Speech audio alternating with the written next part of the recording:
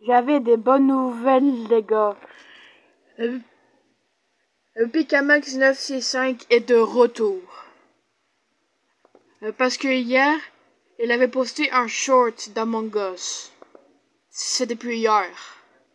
Euh, Parce que regarde là. Ça fait 12 heures qu'il avait fait ce short là.